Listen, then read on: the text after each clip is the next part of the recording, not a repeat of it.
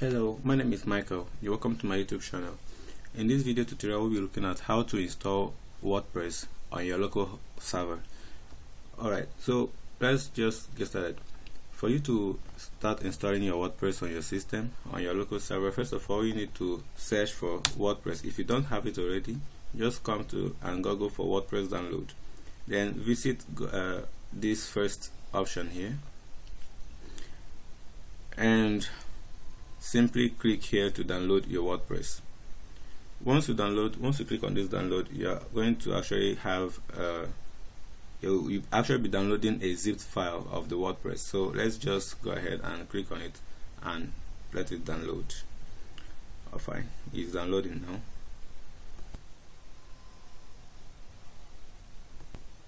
Alright now our WordPress has been downloaded.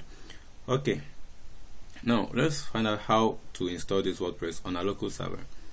Okay, now if you're looking at what we just downloaded now, you find out the requirements here. We you'll be needing PHP, MySQL, and you also be needing either MySQL or My Maria database, the latest version of it.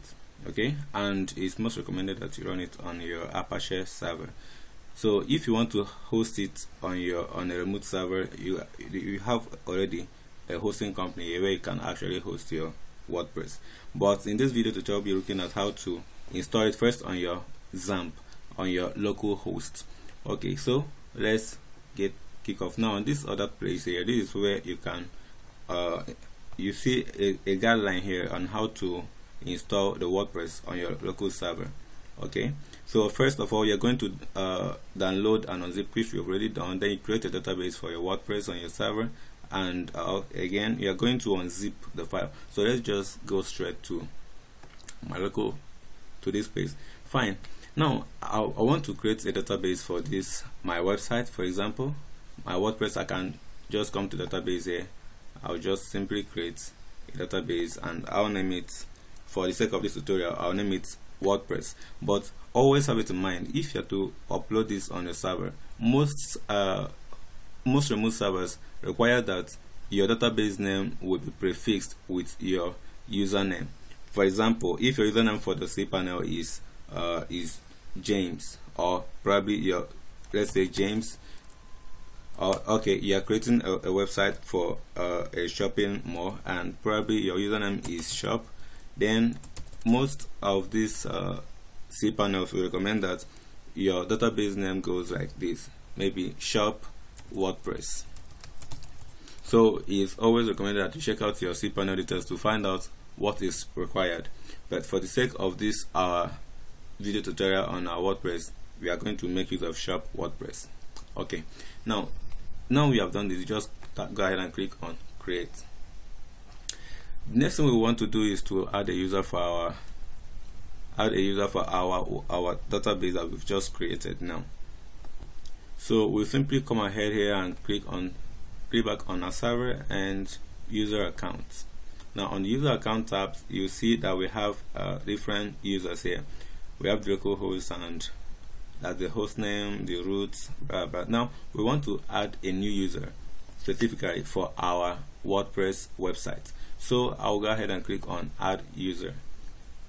Now here we are going to add a username for your user for your WordPress account. So let's say I call it shop as the username. I call it shop and the host name usually it is localhost though not all cPanel not all remote servers will take localhost but that is the most widely used uh, server name okay then for the password you can decide to generate a password here for yourself or type in one for yourself so but try to make your password secured. So in my own case I'll be just be typing shop I'll just be typing shop 123 as my password. So I will type it here. Shop 123 alright then I'll come up here again. I'll have to add some privileges. Okay? So I will simply come here and grant all these privileges here. I don't want to grant this for now. So come down here and click on go.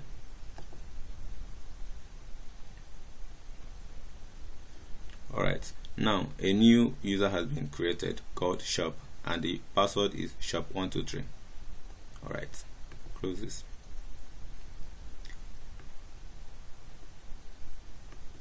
Now the next thing we would like to do here will be to go and add these privileges to the database which we just created. So we navigate to this database tab here and we come down we choose the WordPress and then we just click on go.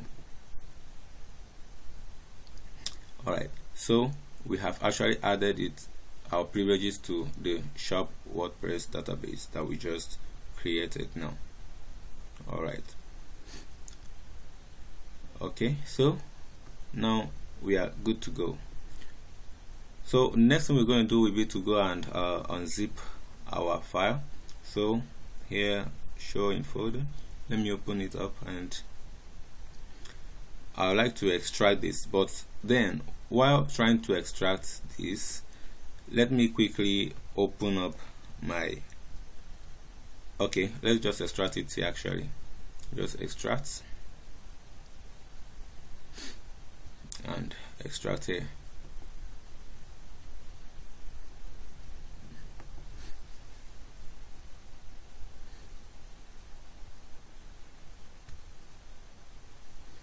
okay I'm extracting it into this place. Extracts.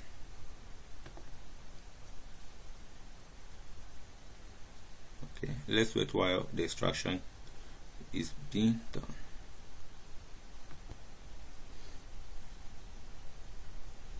alright so our extraction is still going on and almost about to be completed.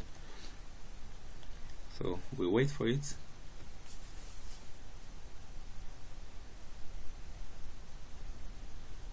Go go go go go go. All right fine. We have succeeded in extracting our WordPress. We have succeeded in extracting our WordPress site. So the WordPress let's this is it okay? And if you open this folder you'll notice that we have WordPress inside. And if you go ahead to open it again you notice that we have whole lots of contents inside here. Okay? Now what we're going to do is to get the content of this. Now if you are installing this on your local server you need to first of all determine which part you want to install it on. If you're installing it on your remote server that is on your cPanel then you decide whether you want it to be on if you want your site to be as a subdomain or you want it to appear on on the root for instance like according to WordPress here here we are you can actually look at this. You have to run the WordPress installation script by accessing the URL in your web browser. If you installed WordPress in the root directory you should visit this if you install WordPress in its own directory uh, subdirectory called blog for example you should visit this. Alright but in our own case scenario now we are installing on our local server. So all I will do is to open all I will do will be to simply open up my C drive navigate down to my XAMPP. Okay and on the XAMPP open my htdocs and I want to create a site called shop. So simply create a folder. Simply create a folder right here. And call it shop.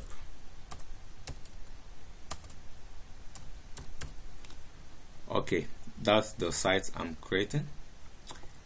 So that becomes my website. What I will do next will be to copy the content of the WordPress I just extracted into that place. So I'll come to my WordPress here and open the WordPress and pick every content inside here and copy into shop just move it into that place.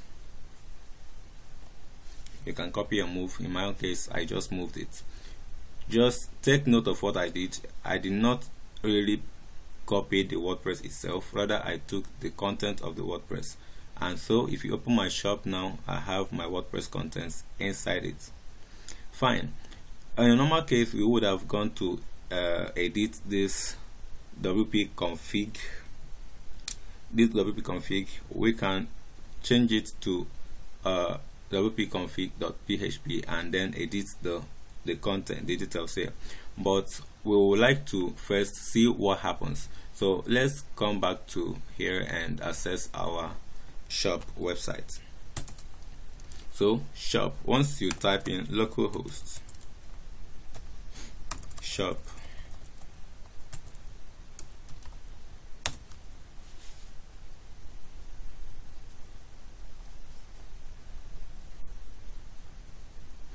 Alright you notice that this is what we get.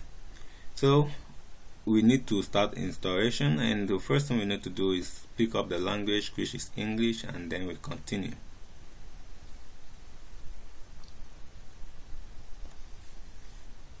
Fine. Now welcome to WordPress. Before getting started we need some information on the database. You will need to know the following items before proceeding. That's the database name the username the password the host. So we're to be uh, using all the details of what we just created in our in our phpMyAdmin. So let's go.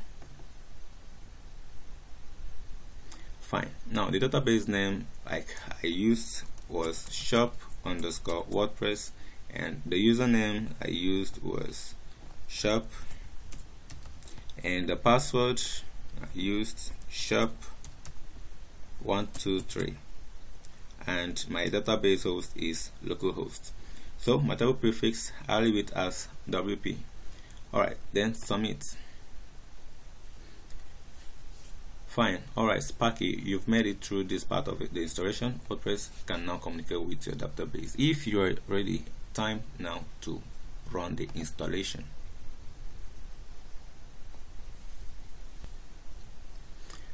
Alright then I'll go ahead and give my site a title. I'll call it my shopping mall shopping mall. Okay the username. I'll still go ahead to call it shop. Okay and the password. I'll still like to give it shop 123 though it's very weak.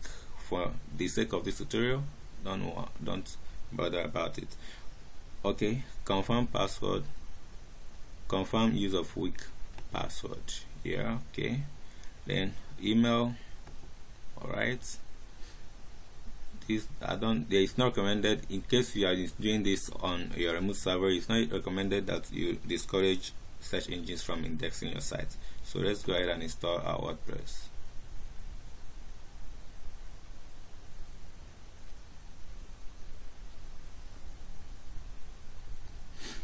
okay so we wait while it loads for the installation.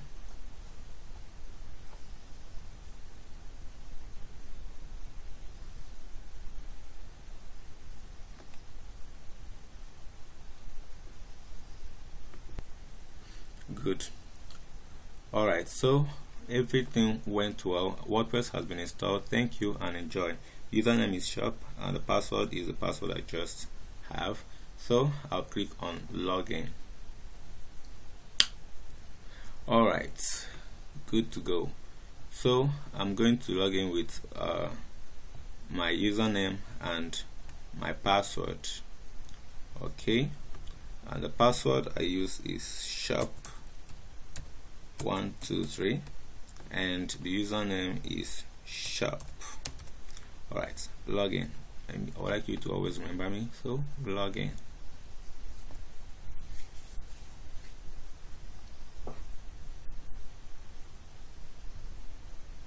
and that takes me to my WordPress admin. So wonderful. We have succeeded in installing WordPress on our local server on our local host in XAMPP. Fine. Now let us try to view our shop again. So localhost slash shop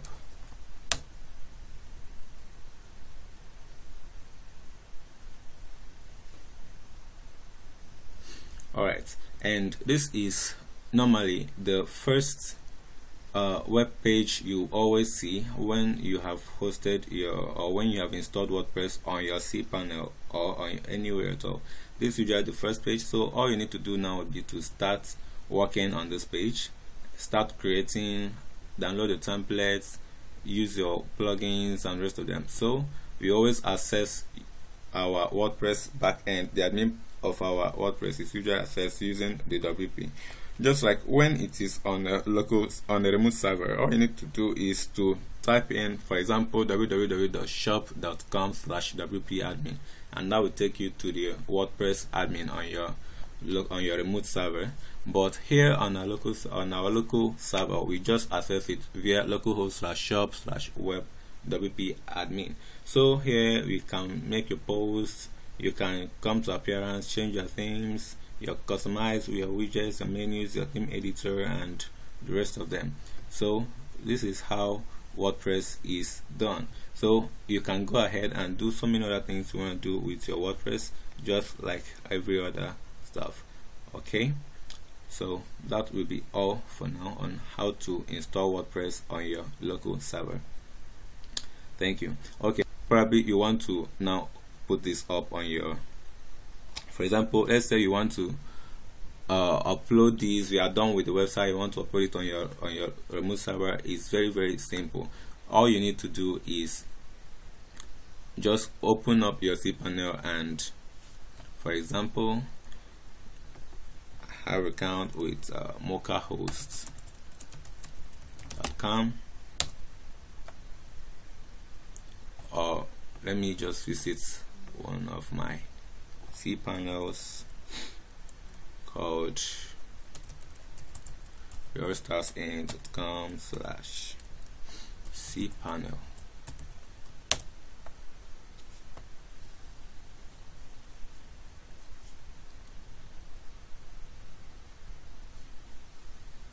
So I'm going to log into my cPanel here. Okay, so I successfully logged into my cPanel details and my panel will be coming up soon. Boom. Now once uh, the cPanel is open this is normally the way most of the cPanels you'll be seeing online will look like once you log in. You have so many things.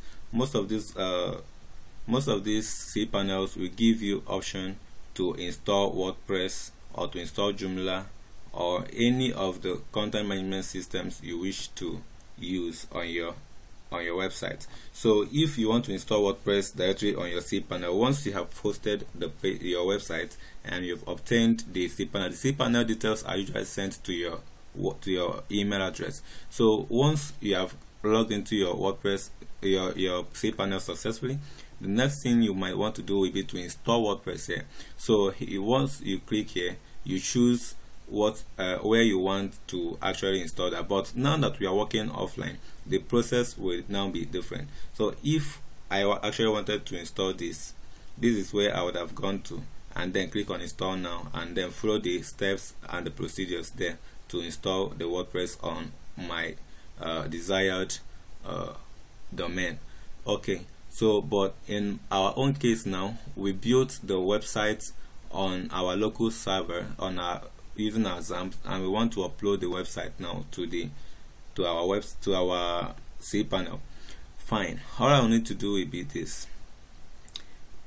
Already I have some I've already in my file manager here already I have this is where you you upload your details. On the file manager on the file manager you you're likely to have the public HTML and that is the root directory where you should always upload your your uh, your your website you just built from your XAMPP. Fine. Now in my own case I'm not gonna open this public HTML because already I have some files in it okay? So probably you want to install uh, upload this as a subdomain so we'll quickly come down to uh, sites under domains and we're going to have subdomains. So we can come here and create a domain oh let me try in again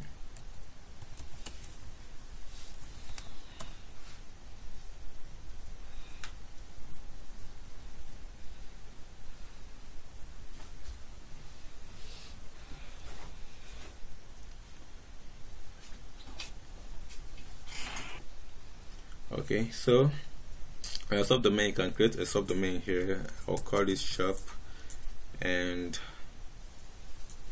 is residing on this domain here. Okay and the root is shop.royalstars and then we click on create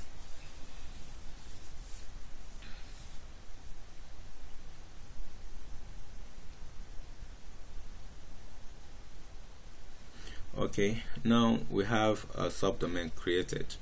So now that I've created my subdomain it means that if I come back to my to the cPanel homepage and come to my file manager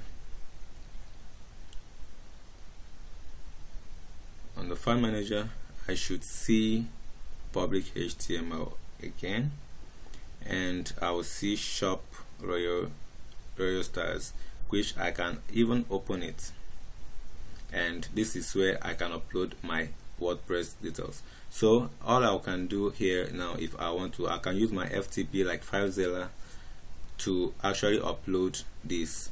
So using my FileZilla I can simply come to my XAMPP htdocs and copy all these and upload them to my cPanel or better still I can zip it up and then upload the zip file on this place then unzip it and you are good to go once you zip everything and then unzip it here you are good to go on your cPanel. for the sake of this uh, tutorial I won't be doing all these stuffs but I'm likely to make a new video on how to host your website from Mocha host or using GoDaddy then after buying the domain name we are going to actually upload our our our our WordPress. Thank you for watching. Good luck